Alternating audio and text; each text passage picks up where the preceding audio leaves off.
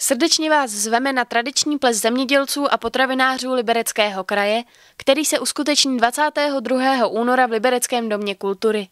Tento ples je znám především díky nejbohatší tombole celé plesové sezóny. Své výrobky v ní totiž prezentují zemědělci a potravináři z celého našeho kraje. K tanci a poslechu bude hrát Bohemia Universal Band a nebude chybět ani cymbálová muzika Bohuslava Eliáše. Můžete se těšit i na hosta plesu Vladimíra Hrona. Tento ples, který se řadí mezi významné kulturní a společenské akce nejen v Liberci, ale v celém libereckém kraji, je příležitostí k přátelskému setkání zemědělců, potravinářů a lesníků s nezemědělskou veřejností a s představiteli veřejného života.